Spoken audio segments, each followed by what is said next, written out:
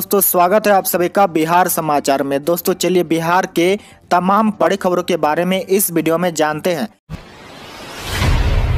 बड़ी खबर हाईकोर्ट के इतिहास में पहली बार गर्मी की छुट्टी में नहीं दाखिल होगी कोई जमानत अर्जी। वकीलों ने जताया विरोध। हाँ, पटना हाईकोर्ट के इतिहास में पहली बार गर्मी की छुट्टी के दौरान जमानत की अर्जी दाखिल नहीं होगी। हाईकोर्ट की ओर से जारी निर्देश में गर्मी छुट्टी के दौरान कोई भी जमानत की अर्जी दायर नहीं करने की जानकारी दी गई है। हाईकोर्ट में गर्मी की छुट्टी 23 मई से 20 जून तक रहेगी। इस बात को लेकर हाईकोर्ट के वकीलों ने विरोध जताया है। वहीं एडवोकेटेड एसोसिएशन के अध्यक्ष तथा वरीय अधिवक्ता योगेश चंद्र वर्मा ने एक पत्र हाईकोर्ट के मुख्य न्यायाधीश को दिया है। उन्होंने पत्र में लिखा है कि हाईकोर्ट के इतिहास में पहली बार गर्मी की छुट्टी के दौरान जमानत अर्जी दायर करने से रोक दिया गया है। उन्होंने हाईकोर्ट नियमावली के नियम चार का हवाला देते हुए कहा कि गर्मी छुट्टी के दौरान जमानत अर्जी दायर करने का प्रावधान है, लेकिन इस प्रावधान को नज़रअंदाज कर गर्मी की छुट्टी की जमानत अर्जी दायर करने से रोक दिया गया है। बड़ी खबर, इक्कीस हज़ार तक कमाने वालों के लिए खबर। कोरोना से गई जान तो परिवार को मिलेगी पेंशन। जी हाँ कोरोना संक्रमण की दूसरी लहर ने लाखों लोगों की जान ले ली है। कई ऐसे परिवार है जिन्होंने अपने कमाई करने वाले सदस्य को इस महामारी में खो दिया है। ऐसे में केंद्र सरकार ने उन परिवारों की मदद करने के लिए कई महत्वपूर्ण घोषणाएँ भी की है। इस कड़ी में कोविड 19 के कारण अपनी जान गंवाने वालों के आश्रितों को कर्मचारी राज्य बीमा निगम के तहत पारिवारिक पेंशन दी जाएगी। आपको बता दें कि कर्मचारी राज्य बीमा निगम का लाभ उन कर्मचारियों को उपलब्ध है जिनकी मासिक आय इक्कीस हज़ार रुपये या इससे कम है। हालाँकि दिव्यांग जनों के मामले में आय सीमा पच्चीस हज़ार रुपये तय की है। सरकार ने कहा कि ऐसे पीड़ित परिवार सम्मान का जीवन जी सके और जीवन स्तर को बेहतर बनाए रख सके, इसीलिए यह सुविधा उपलब्ध की गई है। आपकी जानकारी के लिए बता दें कि यह लाभ 24 मार्च 2020 से लागू माना जाएगा और इस तरह के सभी मामलों के लिए यह सुविधा 24 मार्च 2022 तक उपलब्ध होगी। इन व्यक्तियों के आश्रित पारिवारिक सदस्य मौजूदा मानदंड के अनुसार संबंधित कर्मचारी या कामगार के औसत दैनिक वेतन या पारिश्रमिक के नब्बे फ़ीसदी के बराबर पेंशन का लाभ पाने के हकदार होंगे। बड़ी खबर, बिहार में सात दिनों के अंदर मिल सकेगा कोरोना से हुई मौत के बाद मृत्यु प्रमाण पत्र मुख्य सचिव ने सभी जिलों को दिए सख्त निर्देश। जी राज्य में इस कोरोना काल के दौरान लोगों को मृत्यु प्रमाण पत्र बनाने में काफ़ी समस्या होने लगी है, खासकर कोरोना से जिन लोगों की मौत हुई है, उन्हें मृत्यु प्रमाण पत्र देने में संबंधित निकाय या जिला काफ़ी देर कर रहा है। जिला स्तरीय कार्यों में इसे लेकर काफ़ी फजियत हो रही है। इस वजह से लोगों को काफ़ी परेशानी हो रही है। कई जिलों में सरकारी अस्पतालों से भी कोरोना से मौत होने पर मृत्यु प्रमाण पत्र देने में काफ़ी समस्या होती है। हाल ही के कुछ दिनों में इसकी दर्जनों शिकायत राज्य सरकार को मिली है। अब मृत्यु प्रमाण पत्र परिजनों को देने में देरी को सरकार ने गंभीरता से लिया है और सभी जिलों को कड़े निर्देश दिए गए हैं। कई स्थानों से सामान्य मृत्यु होने की स्थिति में भी मृत्यु प्रमाण पत्र जारी करने में काफ़ी देर हो रही थी। इस स्थिति को देखते हुए मुख्य सचिव त्रिपुरारी शरण ने सभी जिलों को सख्त निर्देश दिया है कि सभी लंबित मामलों का तुरंत निपटारा करें। जिन जिलों में सात दिन से ज़्यादा पुराने मामले लंबित पड़े हैं तो संबंधित डीएम को इसका कारण स्पष्ट रूप से बताना होगा। अगर किसी व्यक्ति की मौत होने के सात दिन के अंदर मृत्यु प्रमाण पत्र नहीं मिलता है तो डीएम को स्वयं इसे देखना होगा। एक बार बिहार में राशन कार्ड धारियों को घटिया अनाज देने पर होगी कार्रवाई। अब 24 घंटे में बदला जाएगा डीलर को मिला खराब अनाज। हाँ, खाद्य एवं उपभोक्ता संरक्षण विभाग के मंत्री लेसी सिंह ने कहा कि राशन कार्ड धारियों को घटिया या गुणवत्ताहीन अनाज देने की कोशिश की गई तो डीलर और अन्य दोषियों के खिलाफ कार्रवाई की जाएगी। साथ ही उन्होंने कहा कि मुख्यमंत्री नीतीश कुमार के मार्गदर्शन में विभाग गरीबों को गुणवत्तापूर्ण अनाज पूरी पारदर्शिता के साथ मुहैया कराने के लिए पूरी तरह से कृत संकल्पित है। उन्होंने राशन कार्ड धारी सभी लाभुकों से भी अनुरोध किया है कि प्रति व्यक्ति निर्धारित मुफ़्त राशन का उठाव करे और सही माप तोल या गुणवत्तापूर्ण अनाज नहीं देने पर उसकी शिकायत, संबंधित प्रखंड आपूर्ति पदाधिकारी व अनुमंडल अधिकारी समेत जिला के सक्षम अधिकारियों से करे, जिससे दोषियों पर त्वरित कार्रवाई की जा सके।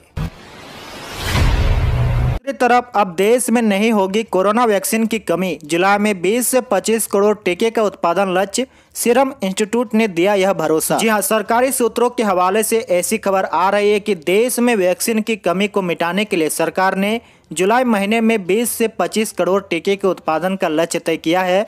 जबकि अगस्त सितंबर में 30 करोड़ डोज के उत्पादन का लक्ष्य तय किया है।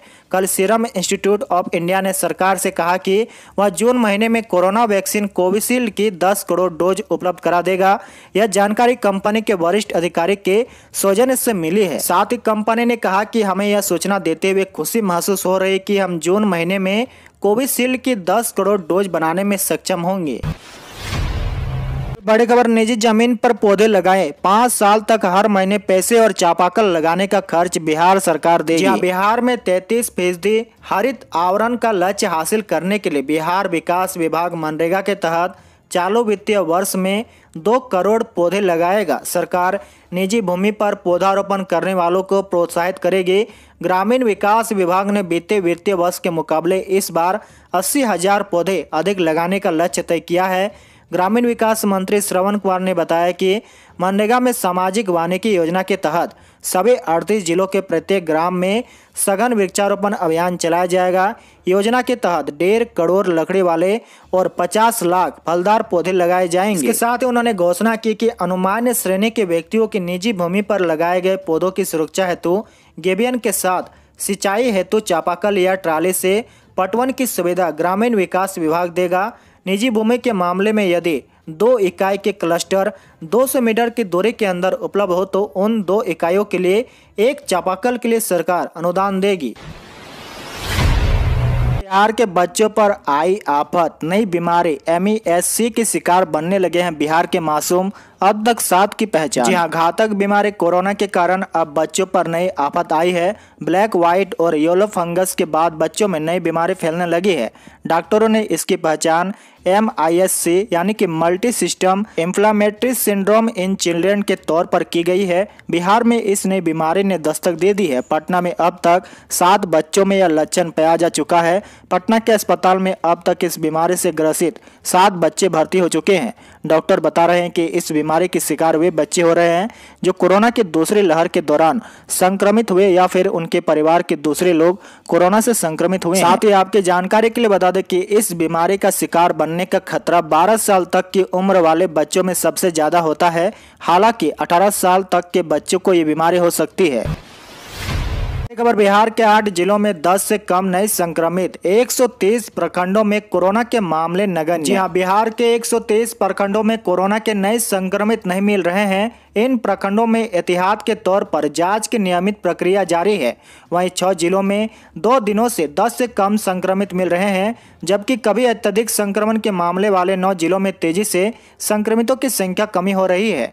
बिहार के नौ जिलों में पहले जहाँ 300 से 500 संक्रमित औसतन प्रतिदिन मिल रहे थे, वहाँ अब नए संक्रमित कम मिल रहे हैं।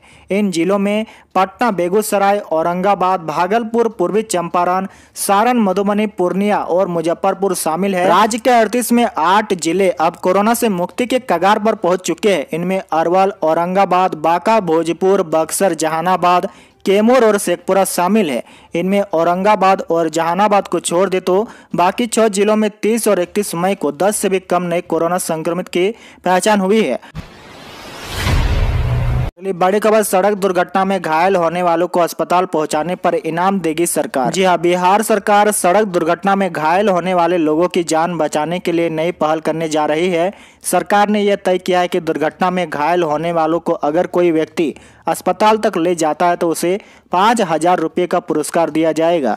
बिहार सरकार के परिवहन विभाग ने ये प्रस्ताव तैयार कर चुका है। जल्द ही इस प्रस्ताव को कैबिनेट में भेजकर औपचारिक फैसला लिया जाएगा।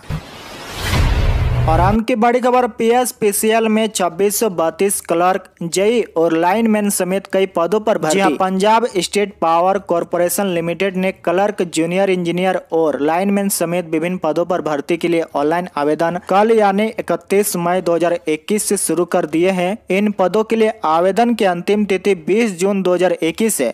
वही ऑनलाइन आवेदन शुल्क जमा कराने की अंतिम तिथि दो जुलाई है। पीएसपीसीएल के इस भर्ती विज्ञापन में कुल छब्बीस रिक्तियों को भरा जाना है। इनमें 18 रिक्तियाँ रेवेन्यू अकाउंट पाँच क्लर्क, पचहत्तर जूनियर इंजीनियर और 170 assistant lineman 290 assistant sub station attendant के लिए है। साथ ही आवेदन शुल्क की बात करें तो दिव्यांग और एससी को छोड़कर बाकी के लिए नौ रुपए रखे गए हैं और दिव्यांग और एससी के लिए पाँच रुपए शुल्क रखा गया है। ऑनलाइन आवेदन के लिए आप पीएसपीसीएल के ऑफिशियल वेबसाइट पर जाकर आवेदन कर सकते हैं। इसके साथ ही जो इस चैनल पे नए आए हैं चैनल को सब्सक्राइब करके बगल वाले नोटिफिकेशन बेल को ज़रूर ऑन कर ले, ताकि रोज़ाना बिहार के ताज़ा अपडेट आपके मोबाइल में मिलते रहेंगे। Thank you take care good bye जय हिंद, जय भारत, वंदे मातरम।